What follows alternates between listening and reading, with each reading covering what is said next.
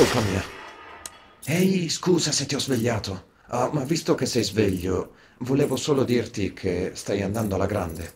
Ehm, so che a volte è difficile, ma sei arrivato fin qui, quindi stai facendo qualcosa di giusto. E diventerà più facile, succede sempre.